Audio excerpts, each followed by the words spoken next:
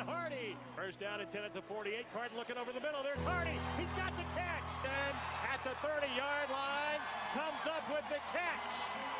And that's number 350. Justin Hardy has just set the new NCAA FBS record for career receptions. I tell you what, it's been a, a, long time coming, but that young man deserves everything. He's a great kid, great student, unbelievable football player. Of accomplishments. When you say you're the best in the history of something, the best in the history of college football, that's saying something. And it's here at East Carolina University